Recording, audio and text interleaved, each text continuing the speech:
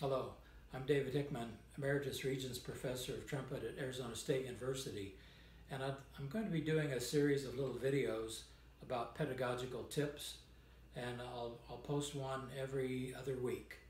The weeks in between, I'll be doing a similar series of videos about trumpet repertoire, so I hope you'll tune in each week and see what new things I want to touch upon that I feel are important to trumpet playing.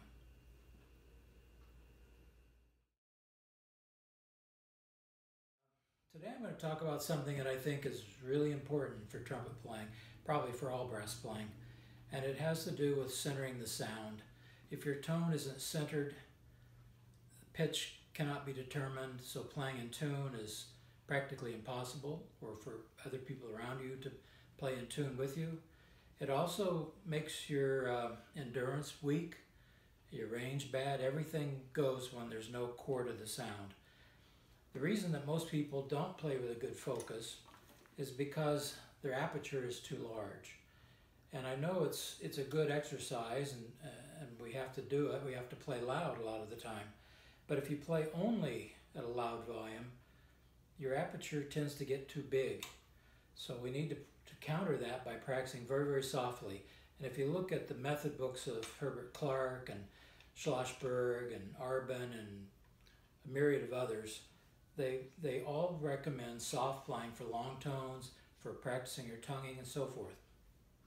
So the reason is because when we play softly, the lips can actually touch.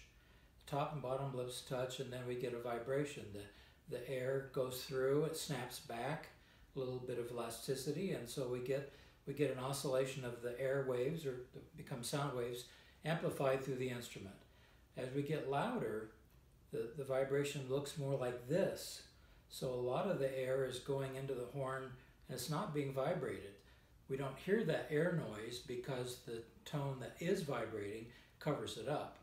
But as we crescendo from triple piano to maybe one forte, we can have a pretty good efficiency. After that, it becomes more and more inefficient. So you'll notice that as you do that crescendo, playing from very, very softly to say one forte feels very effortless. But to go from one forte to triple forte feels like a lot of work because you're becoming less and less efficient. So if we play loud all the time, we tend to set with a very large aperture, and when we play, we get this very airy tone, and uh, the, like I say, the center of the pitch is just gone. So some of my favorite exercises have to do with similar things to what Clarke and Schlossberg and the others were saying. Practice softly, and they usually mark their exercises piano. I like to take it a step further. I like to go about five pianos, and I call them whisper tones.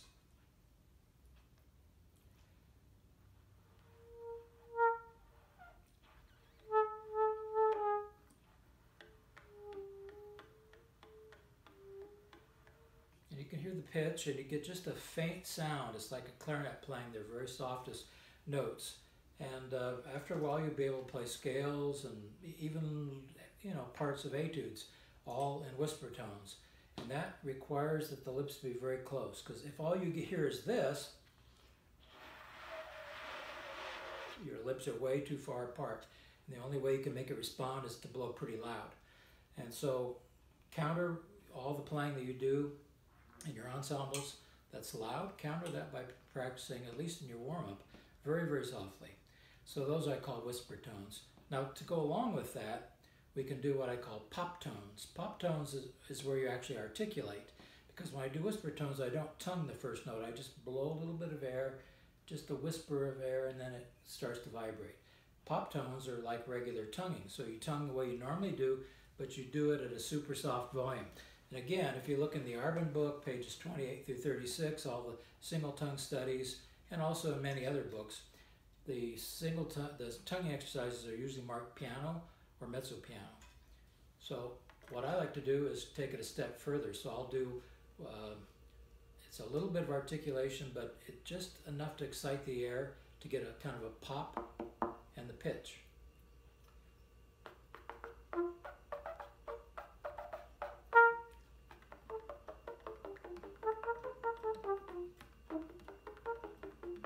So that, that requires, again, a very quick and a very clean tongue action. If the tongue is slow, kind of a thu, thu, thu, you won't get that immediate response. So it requires a very quick tongue action. So it doesn't matter if you're playing a 64th note or a whole note, the attack is still very, very quick. And so to get that pop, it requires you to have a very quick action of the tongue.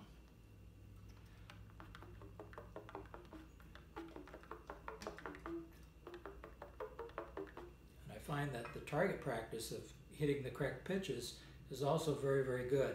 Good for just general accuracy. Then when you play a regular piano,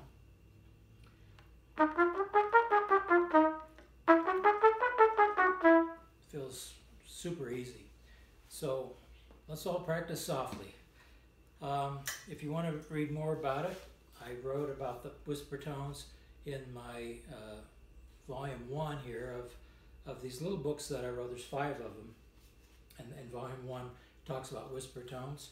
And then in my pedagogy book, uh, which is now available only as a download, the uh, trumpet pedagogy book, 500 page book, is now a download for 30 bucks. And it has a section on whisper tones, some good exercises, and it also talks about pop tones. So, happy practicing. Thank you.